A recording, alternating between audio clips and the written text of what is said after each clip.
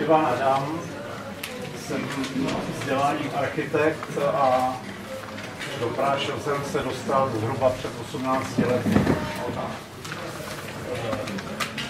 Proč jsme se tam dostali?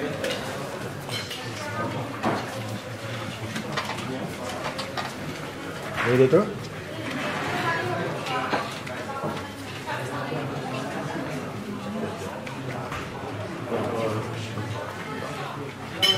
Už to snad v pořádku. Tady je krátké vysvětlení toho, jak my jsme se dostali se ženou do obce Prášily na Šumavě. To dítě, nebo ta dívka zcela vpravo ležící je matka mojí ženy a ta dáma sedící zcela vlevo, ta puntičkovaný je její babička, čili matka matky mé ženy. A ten dům v pozadí je Prašelská papírna Eger papírmíle, čili jinak eh, poslední, poslední papírna na ruční papír v českých zemích, nikoli v, eh, Čes, v Čechách a na Moravě. Na Moravě máme ještě losiny. Který je potom prášil. Takže eh, to je vlastně důvod, proč jsme v Prášilech a tím chci říct, že to nebyla vůbec svobodná volba, že jsme prostě to měli nějak předem daný bych se vrátil ještě zpátky k té společnosti Vidné vidiny. Krátce potom, co jsme přišli do Prášil, tak um, jsme zjistili, že jsme tam přicházeli s velkými ideály a um, že jsme nebyli připraveni na realitu, na kterou samozřejmě dřív nebo později jsme museli taky narazit. Uh, přesto jsme měli dost uh, chuti se těmi problémy zabývat a aby nám to šlo tak jsme založili občanské združení Vídné vidiny. V tom roce 99, když jsme zakladali Vídné vidiny, se jmenovalo Společnost Vlídné vidiny pro 21. století bývalého vojenského újezdu Dobrá voda na Šumavě. Já se omlouvám, jako úředníci si to hned zapamatovali všichni, protože takhle dlouhý název hned tak nikdo nemá. Ono trošičku ten název eh, vypovídal o tom, co chceme dělat. Tady to máte krátce napsáno. Samozřejmě ochrana přírody a krajiny, protože bez toho bychom nemohli být účastníky eh, správních řízení, třeba při stavebních řízení, ochrana kulturního a architektonického dědictví, účast na obnově toho místa samotného, obnova společenského a kulturního zázemí toho místa a všechny další věci, které s tím souvisí, ale také účast na správních řízeních všeho druhu, to znamená jak pořizování územních plánů, tak při e, správních řízeních územní rozhodnutí a tak dále. No a kromě jiného e, jsme zjistili, že ten předposlední bod to je účinné odvracení nebezpečí skrytých v některých podnikatelských záměrech v myšlení obyvatele, kterým se stýská po vojenském hospodaření v lokalitě, je velice aktuální. Každá z těch věcí se svým způsobem teď promítne v té, v té mojí prezentaci, kdy vám vlastně chci jenom krátce představit, co tam za těch 18 nebo 16 roků, kdy fungujeme, děláme že babičku necháme stranou. Krátce po, krátce po příchodu do Prášil eh, jsme zjistili, že tehdejším platném územním plánu bylo navrženo místo pro jakousi duchovní stavbu, řekněme sakrální stavbu, ale nebyla navržena na tom původním místě kostela, který bourali nebo odstřelili vojáci v roce 79, byla navržena na zcela jiné místo. Nám se zdálo, že by dobrým vkladem do budoucnosti té obce bylo to, že bychom se vrátili na to původní místo z mnoha důvodů. Jednak protože ti předkové věděli, proč na tom místě ten kostel stál. Dál jsme si říkali, že by bylo dobré navázat na tu přetrženou historii i, i takto přímo fyzicky. A zároveň jsme tím chtěli říct, že prostě se cítíme být součástí toho, co bylo tady a že se cítíme být do jisté míry zodpovědní, byť jsme to sami nedělali a že to chceme odpracovat nějakým způsobem. Čili to byly hlavní motivy toho, proč jsme se chtěli vrátit s na původní místo abychom eh, zahájili nějakou diskuzi, protože hned na začátku jsme zjistili, že prostě to nebude úplně jednoduché, tak jsme připravili eh, workshop pro studenty architektury a pro profesionální architektury z celé republiky. A výsledky toho workshopu jsme představili jak přímo v Prášilech, tak potom také ve Fragnerově galerii v Praze, kde jsme k tomu ještě eh, připojili veřejnou debatu jak se s autory těch návrhů jednotlivých, tak prostě s lidmi z církví a to byli prosím pěkně jak evangelici, tak katolici, takže jsme tam měli českobudějovického biskupa, měli jsme tam evangelické faráře, měli jsme tam prostě lidi rozdílných konfesí. Eh, myslím si, že ta Prášilech na tu výstavu navazovala anketa, kde, kde jsme zjišťovali názory návštěvníků těch, té, co si o tom myslí. Zjišťovali jsme, zda by byli ochotní nám s tím pomáhat, s obnovou toho kostela, které návrhy preferují, co z toho vyplývá. Takže z, těch, z té ankety, respektive z těch vystavených prací potom vyplývalo, že eh, v podstatě většina lidí by byla ochotna nějakým způsobem, ať už finančně nebo přímo fyzicky pomáhat, že eh, tendence té společnosti je k tomu, že by ten prostor neměl být jenom katolický, tak jak byl původně, že by měl být otevřený jakoby směrem do ekumeny, což je trošičku komplikované, protože to místo původního kostela je stále v majetku římskokatolické církve.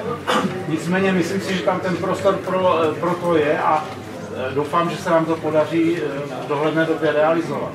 Eh, v souvislosti s tím kostelem potom se dostaneme k tomu, že jsme tam založili další občanské združení, které právě proto, aby nebylo spojováno s věcmi, které děláme taky, ale které veřejnost vnímá do jisté míry negativně, tak jsme si řekli, založíme spolek, který bude pouze za účelem obnovy kostela svatého Prokopa.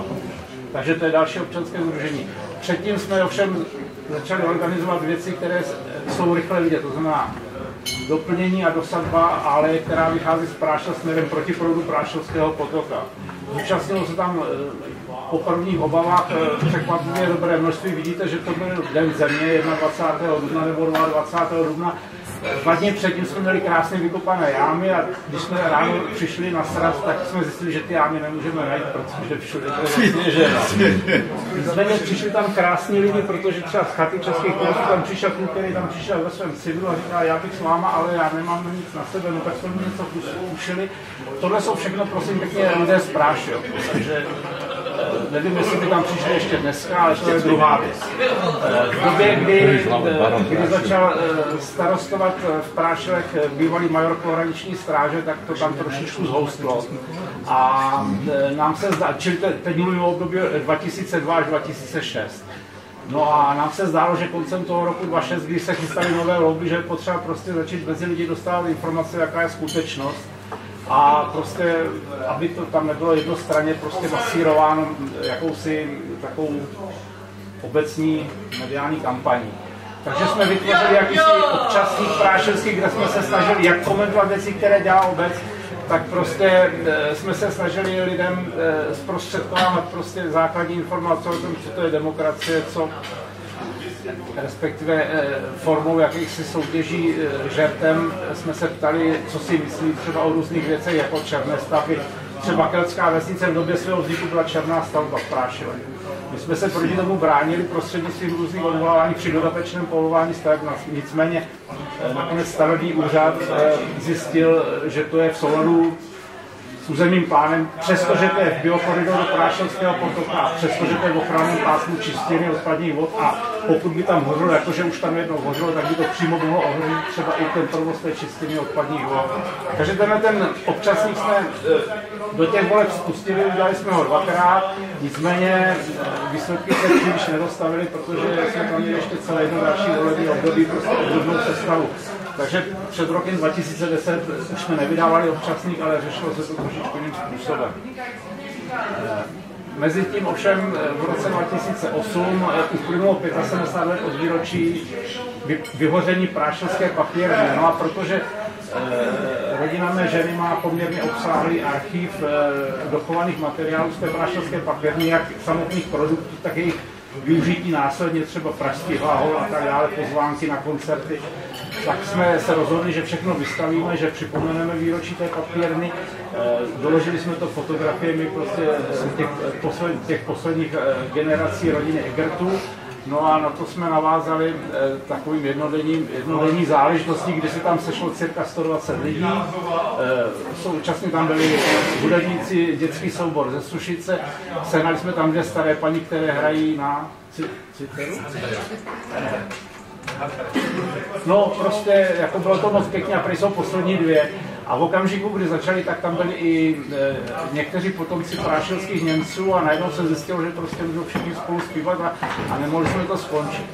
Jinak ta výstavní prostora, kde jsou ty fotky, tak to je interiér našeho domu, který jsme pro ten den prostě otevřeli veřejnosti s tím, že jsme z něj udělali e, výstavní prostor. Jenom ty.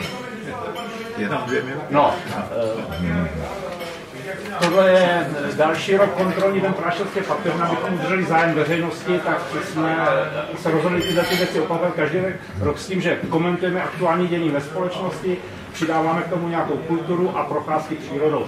Tohle je v okamžiku, kdy prostě po Prášově se začal dostat pan doktor Zámiška a tímto způsobem prostě si označkoval veřejný prostor a z nás něj vytlačoval.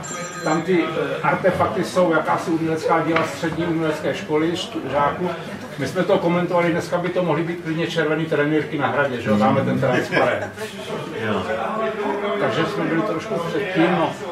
Tak, eh, tady jsou záběry z další kontrolní dnů, ten pravý vám možná přijde povědomí, tam jsme komentovali prostě situaci, která nastala po nástupu doktora Stráského do vedení parku.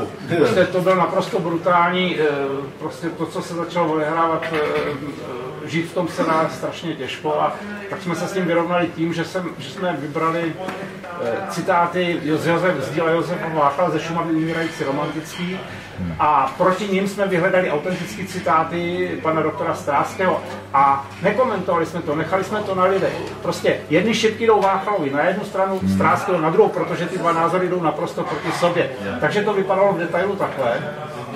A každý ten člověk, který tam přišel, prostě si mohl sám, aniž by do něj někdo něco tlačil, zorientovat velice rychle, myslím.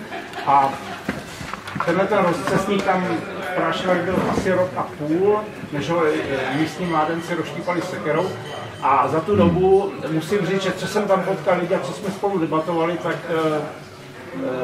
téměř se všemi jsme byli schopni se domluvit.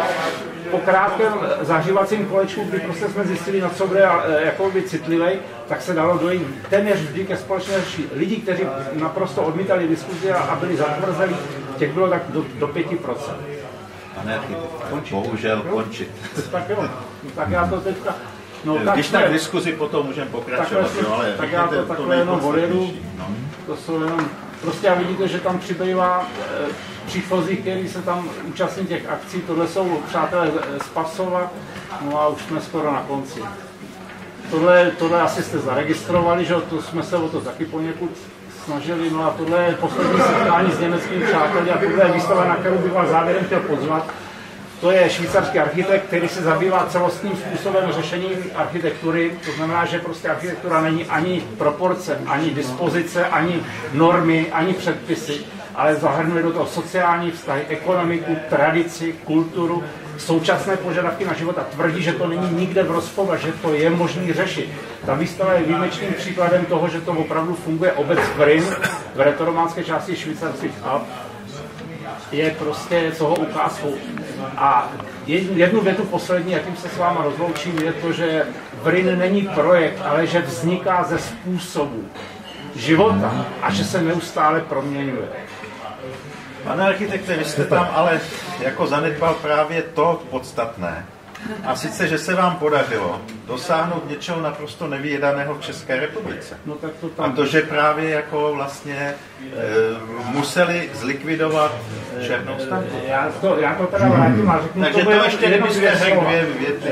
Není to úplně přesné. My no, jsme se snažili tomu bránit. Musím říct, že žába na pramení není pan Zámiška, prostě to je člověk, který má nějakou povahu a on chce vládnout v nějakém území a chce prostě na tom ruku to se dá pochopit z lidského hlediska, ale to, že stavební úřad třikrát dodatečně povolil tamhle tu nepovolenou stavbu, to už se teda těžko chápe. My jsme se třikrát dodávali k krajskému úřadu, bylo to dvakrát na ministerstvech, na přeskumech, na ministerstvu pro místní rozvoj, na životním prostředí, všichni nám za pravdu a teprve v loni v září krajský úřad na posledním odvolání konstatoval, že stavbu nelze dodatečně povolit.